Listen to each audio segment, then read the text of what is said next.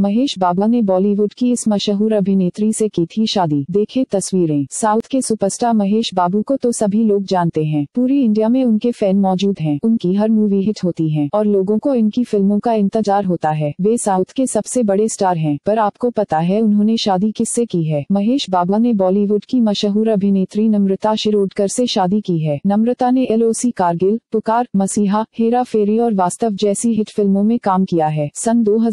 में नम्रता अमृता ने महेश बाबू से शादी कर ली और बॉलीवुड को अलविदा कह दिया अब वे महेश बाबू के साथ रहती हैं। नम्रता के दो बच्चे हैं महेश बाबू नम्रता से चार साल छोटे हैं लेटेस्ट न्यूज देखने के लिए इस वीडियो को लाइक करिए और महेश